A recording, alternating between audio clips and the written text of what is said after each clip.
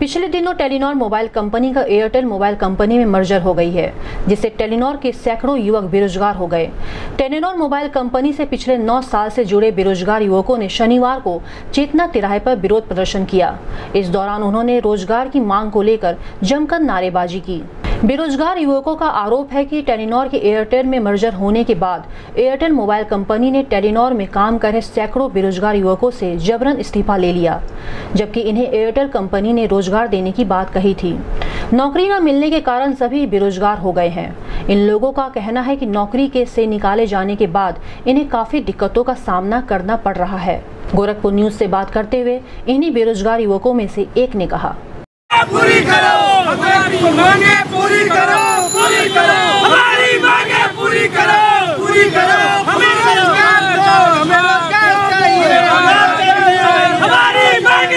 पूरी करो पूरी पूरी करो पूरी करो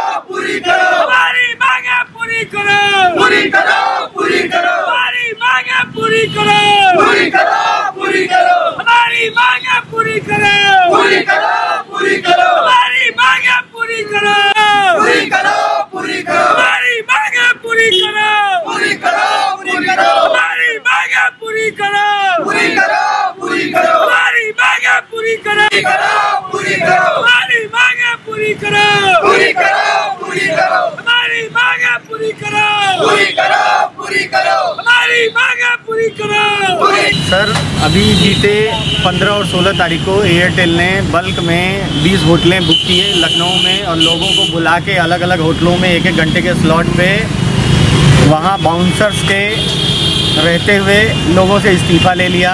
हम आज की डेट में बेरोज़गार हो गए हैं। हम 800 लोग हैं। 800 सौ इंटू तीन अगर आप करेंगे तो लगभग 2400 लोग मतलब हमारे घर के भूखे मर रहे हैं। हमारी अब हमारे पास कोई रोज़गार नहीं है। क्या करेंगे हम? क्या हुआ आप लोगों के साथ? आप लोग कहाँ काम करते थे? हम टेलीनॉर में काम करते थे। टेलीनॉर एयरटेल को 14 तारीख को बेच के नॉर्वे चली गई। ये एग्रीमेंट ये था कि टेलीनॉर के सारे एम्प्लॉयज़ को एयरटेल लेगी।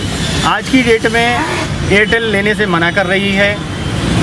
उन लोगों ने हम लोगों से इस्तीफ़ा ले लिया। जबरन इस्तीफा लिया। जबरन इस्तीफ़ा ले लिया और आज की डेट में हमारे पास रोज़गार नहीं है। बिना सूचना दिए ही क्या मांग कर रहे हैं आप लोग? हमें सर रोज़गार चाहिए।